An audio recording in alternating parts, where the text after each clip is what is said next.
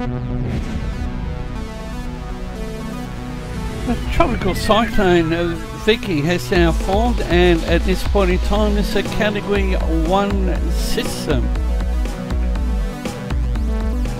And it's currently located 14.5 degrees south, 171.1 degrees west, central pressure 995 millibars.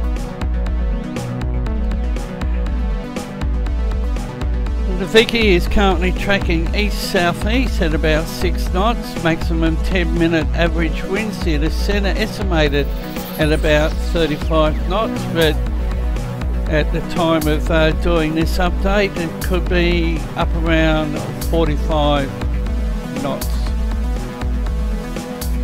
Here's the Fiji Meteorological Services track on the system. The Joint Typhoon Warning Centre has updated their position and they have it as Tropical Cyclone 17P. And where do they have it positioned? They have it about 47 nautical miles west of Pago Pago, American Samoa, now tracking southeast at 11 knots. Animated multispectral imagery indicates a compact circulation within the South Pacific convergence zone and has rapidly consolidated over the last six hours. Scatterometry data as the system approached Western Samoa indicates 30 knots and observations at a couple of local airports in the area supported this estimate. Dvorak estimates range from T1.5 to T2, 25 to 30 knots. However, a observation from Pago Pago has found 40 knots sustained with gusts to 65 knots. However, the Dvorak estimate is slightly underrepresenting the actual peak intensity due to the compact nature of the convective core. Therefore, the intensity is now assessed at 45 knots and the cyclone is tracking southeastward along a persistent trough and remains in a favourable environment with, form, with warm 27 to 28 Celsius sea surface temperatures, low 10 to 15 knots vertical wind shear and established poleward outflow. The system is expected to begin a generally south-south-eastward track within 12 hours, becoming southward at the 24 hour mark as the track begins to turn south southwest after 24 hours the cyclone will begin to dissipate over water due to increasing vertical wind shear cooler sea surface temperatures weakening to 35 knots by 36 hours and increasingly unfavourable conditions will lead model solutions depict 17p interacting with 96p within 48 hours or at the 48 hours mark. The combination of potential system interaction and high degree of spread yields low confidence to the Joint Typhoon Warning Centre's forecast. And wave height is 15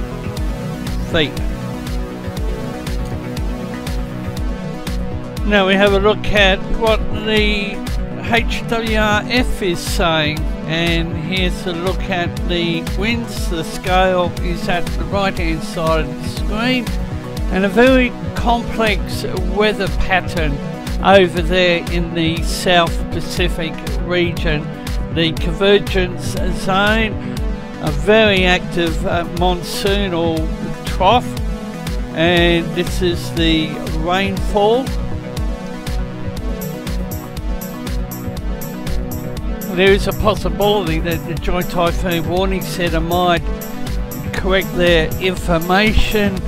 Uh, we also have uh, investor 98p to the west northwest of Vicky, and here's a look at a uh, possible track of the system.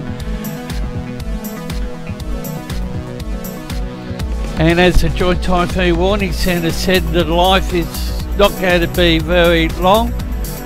And here's a intensity, and for the uh, Saffir-Simpson hurricane scale, a tropical storm. Uh, however, here's the upper level divergence, wind shear, 850 millibar vorticity and one model on the system.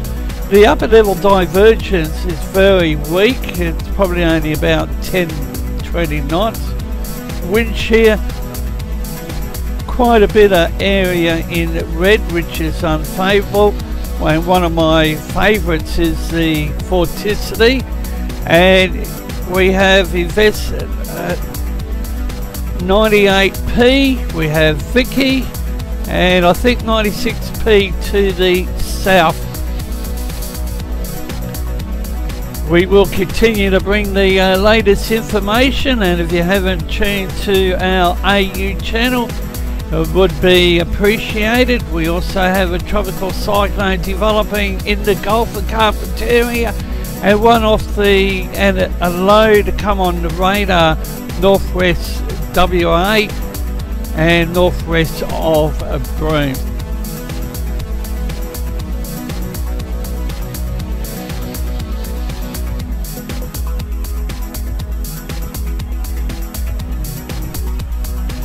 And in addition to the tropical cyclone Cat 1 Vicky, we have a developing local weather scene.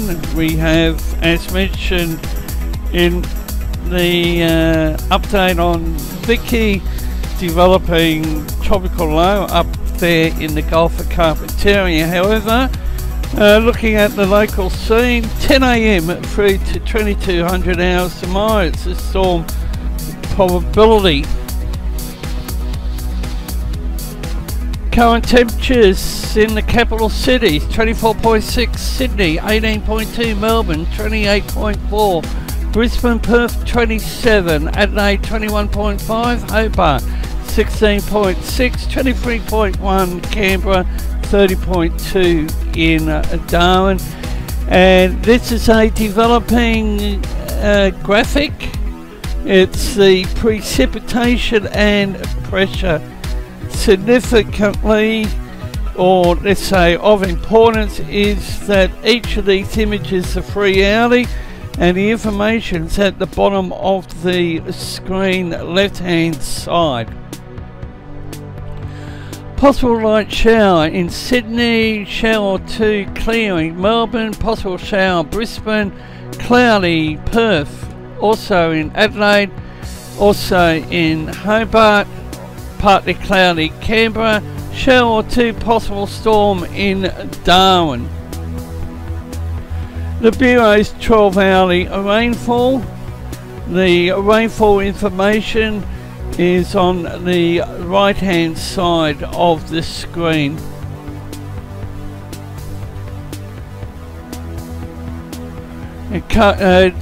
Expected temperatures 25 in Sydney, 19 Melbourne, 30 Brisbane, 35 Perth, 24 Adelaide, 18 Hobart, 27 Canberra, 33 in Darwin, all the capital cities yet to reach their maximum.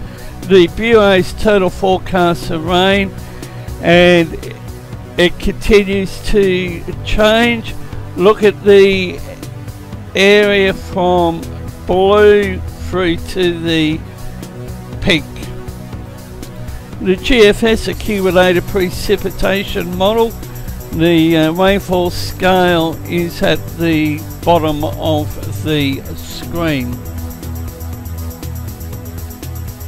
And again, it's the area in yellow through to dark brown. However,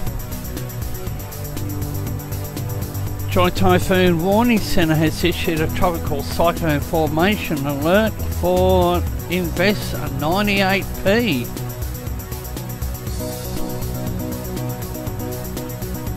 And this is the instability snapshot. Invest 98p near 12 south 176.7 degrees west. About 381 nautical miles west northwest of Pago Pago, American Samoa.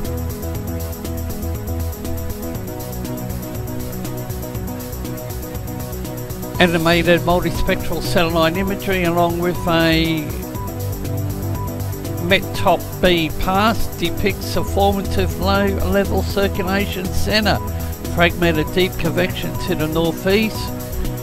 Environmental analysis reveals fair conditions for development with moderate polar outflow, weak diffluence aloft, low 10 knots vertical wind shear, warm 29 to 30 Celsius sea surface temperatures. Global models indicate that 98p will continue to consolidate and slightly intensify as it continues to track south-southeast.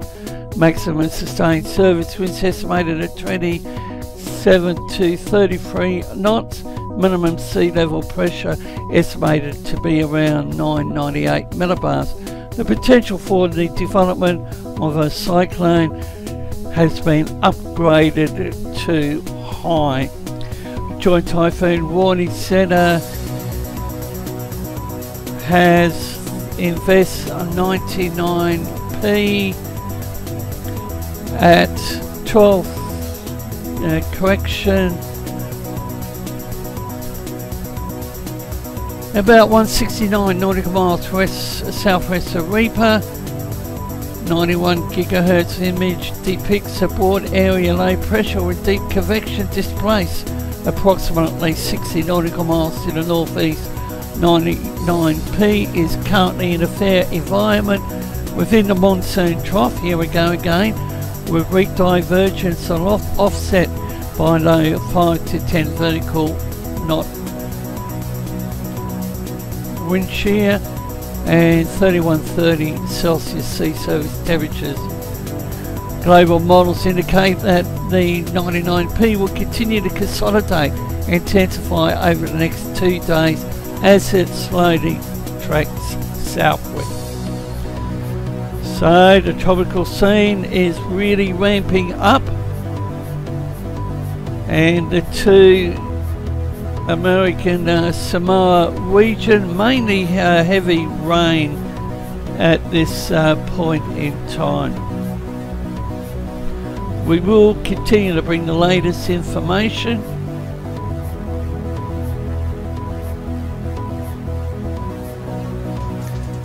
Watching production of Force 13.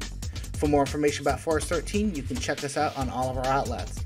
Our website, force13.com, where we are overhauling the website and writing new articles for your reading pleasure. We're also on YouTube, keyword Force13. You're probably there already, good chance of that. If you are, hit that like and subscribe button to keep getting updates like this one coming to your mailbox. We're also on Facebook, keyword Force13, where we post our updates, and keep an eye out for our live coverage on there as well. And we're on Twitter, keyword Force13. And if you want to rock our colors like Nathan Foy here, you can go to our store available at store.force13.com, or you can contribute to the project directly by way of the Patreon. More information about patronage and the privilege you can get from patronage can be found at patreon.com forward slash force13, and you can reach out to us on Skype at force13 or to me directly on Discord at tren extension 1375, or you can join our server with our new link at discord.gg forward slash force13.